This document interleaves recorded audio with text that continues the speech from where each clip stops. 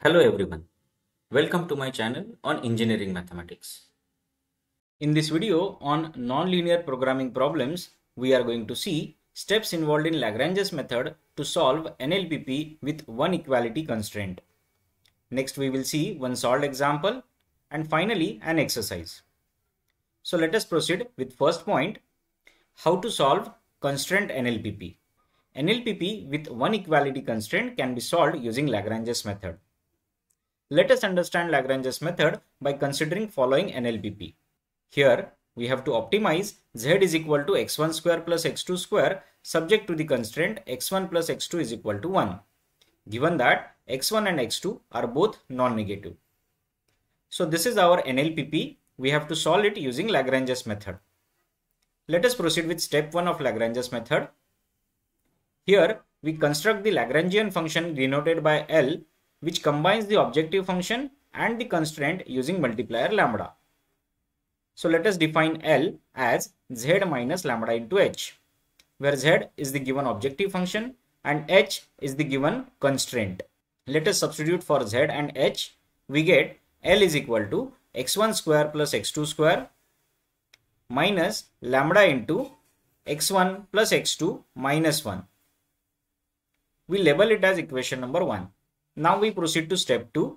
In step 2, we find the partial derivatives of L with respect to basic variables x1, x2 and the Lagrangian multiplier lambda. That is we have to find double L by double x1, double L by double x2 and double L by double lambda. Let me show you the calculations of these three derivatives. Double L by double x1 can be obtained by keeping x2 and lambda constant. So derivative of x1 square is 2x1 derivative of x2 square is 0 because it is constant. Derivative of minus lambda into x1 is minus lambda. Derivative of minus lambda into x2 is 0 because it is constant. Similarly, minus lambda into minus 1 that is lambda is 0 because it is constant. On the similar lines, you can find out what is double L by double x2. I found it is 2x2 minus lambda. Let me show you the calculation of double L by double lambda. For this, we have to keep x1 and x2 constants. So, this x1 square and x2 square are constants, so their derivatives are 0. Derivative of minus lambda x1 is minus x1. Derivative of minus lambda into x2 is minus x2. Derivative of plus lambda is 1 because it is with respect to lambda. Now, after finding these derivatives, we proceed to step 3. In step 3, we have to solve the following system of equations and find the values of x1, x2 and lambda in this particular case. This is that system of equations. Here we have equations double L by double x1 equal to 0, double L by double x2 equal to 0 and double L by double lambda equal to 0. Let us substitute values of these three derivatives over here. So we get 2x1 minus lambda equal to 0, 2x2 minus lambda equal to 0 and minus x1 minus x2 plus 1 equal to 0. This equation when simplified gives us 2x1 is equal to lambda. This gives us 2x2 is equal to lambda and this gives us x1 plus x2 is equal to 1. From these two equations we see value of lambda is 2x1 and 2x2. So both of these values should be equal. So we write 2x1 is equal to 2x2 this 2 and 2 will get cancelled. We get x1 is equal to x2. Substituting x1 is equal to x2 into this equation, we get 2x1 is equal to 1, which when solved, we get x1 is equal to half.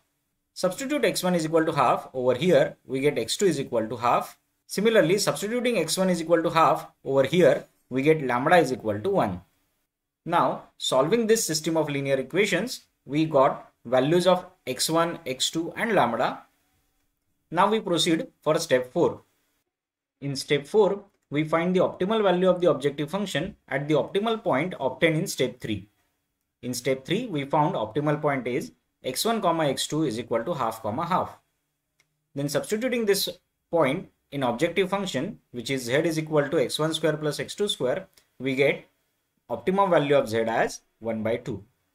After this, we determine whether the optimal point is the point of maxima or minima. We find determinant of the following Hessian matrix to obtain the same. Here is that Hessian matrix. It is a 3 cross 3 matrix where column wise entries are 0, double h by double x1, double h by double x2. Second column is double h by double x1, double 2l by double x1 square, double 2l by double x2 into double x1. Third column is double h by double x2, double 2l by double x1 double x2 and double 2l by double x2 square. But we know L is z minus lambda into h. So we simply replace all these L's by z minus lambda into h. So we got this Hessian matrix. Now let us obtain values of each of these entries in the matrix. Note that if the determinant of this Hessian matrix is positive, then we say optimal point is point of maxima. And if the determinant is negative, then we say the optimal point is point of minima. So the value of z obtained is either maximum or minimum is depending on the determinant of the Hessian matrix. So if determinant of Hessian matrix is positive, optimum value of z is maximum. If determinant of the Hessian matrix is negative, then the optimal value of z is minimum. Let us proceed to our case. In our example, this was z, h and lambda. Now we calculate dabba z by dabba x1 it is simply 2x1 dabba z by dabba x2 is also 2x2 dabba h by dabba x1 is 1 dabba h by dabba x2 is also 1 then we calculate dabba 2z by dabba x1 square minus lambda into dabba 2h by dabba x1 square simply differentiate dabba z by dabba x1 one more time with respect to x1 we get only 2 minus lambda is 1 Dabba 2h by dabba x1 square can be obtained by differentiating this with respect to x1 one more time. It will be 0. So we get only 2 over here. On similar lines, you can find out dabba 2z by dabba x2 into dabba x1 minus lambda into dabba 2h by dabba x2 into dabba x1. To obtain this derivative, we differentiate dabba z by dabba x1 that is this with respect to x2. Of course, it is going to be 0 because there is no x2 over there minus value of lambda is 1 into we differentiate dabba h by dabba x1 that is this with respect to x2 of course it is 0 because 1 is constant so value of this derivative is 0 next we obtain value of dabba 2z by dabba x1 into dabba x2 minus lambda into dabba 2h by dabba x1 into dabba x2 i found it is 0 similarly value of this derivative is also 2 Guys, you can pause the video and check these derivatives. Now we substitute values of these derivatives into Hessian matrix H. I found this is the Hessian matrix. Now let us calculate the determinant of this Hessian matrix. The determinant is minus 4. Then as I said earlier, if the determinant of H is negative, then optimal point is point of minima. Therefore, the value of z that we have obtained is the minimum value of z. I hope guys you understood this example completely. Now we will see one more example on this. Here we are asked to use method of Lagrange's multiplier to solve following NLPP. We have to optimize function z is equal to 4x1 plus 8x2 minus x1 square minus x2 square subject to the constraint x1 plus x2 is equal to 4 given that both the decision variables x1 and x2 are non-negative. Let us proceed for the solution.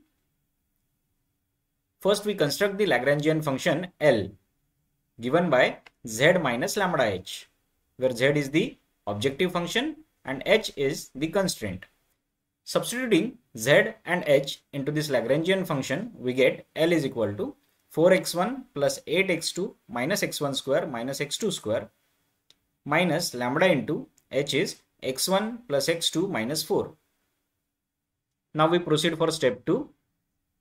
Here we find the stationary point by solving following equations that are double L by double x1 equal to 0, dabba L by dabba x2 equal to 0 and dabba L by dabba lambda is equal to 0.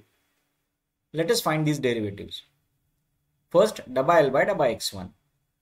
For that we have to keep x2 and lambda constant. So derivative of 4x1 is 4 derivative of this term is 0 derivative of this term will be minus 2x1. This term's derivative will be 0. This term's derivative is minus lambda.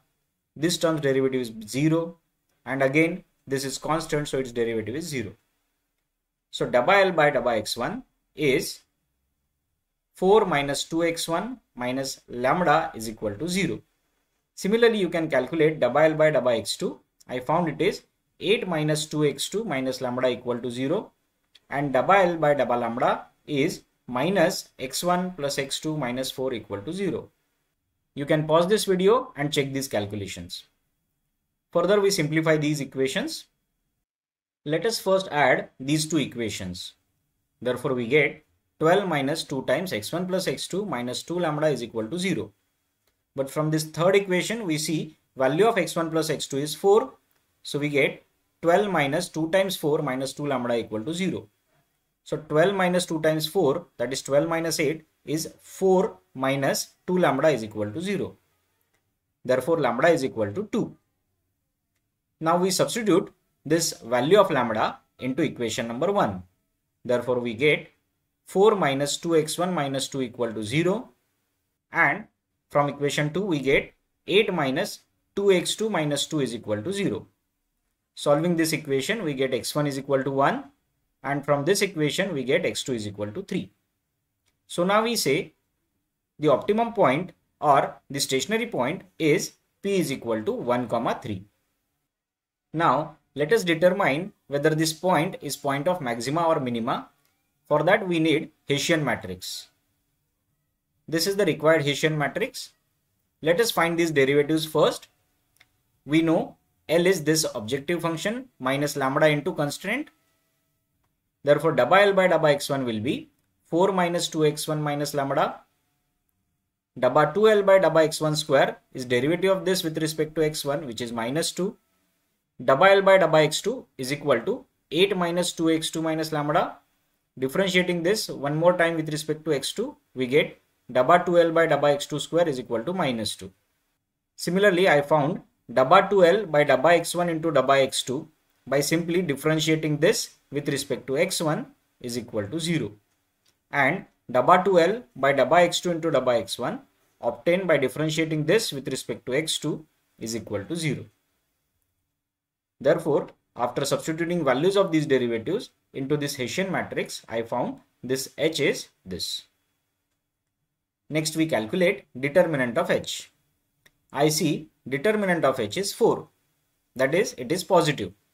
Therefore, the stationary point so obtained is point of maxima and the value of Z obtained by substituting this stationary point in it will be maximum value of Z. So let us substitute this point in this objective function z.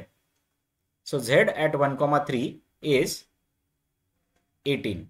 So this is the maximum value of z. I hope guys you understood this solution. Now it is your turn to solve some examples. These are some of the practice examples for you. Guys, please write me in comment box whether you got these solutions or not. Please also write me how much useful you find this video is. Till I publish my next video, keep watching my videos, keep solving these examples. Thank you all of you. Thank you for watching this video. Please subscribe my YouTube channel and press the bell icon to get updates about my new videos.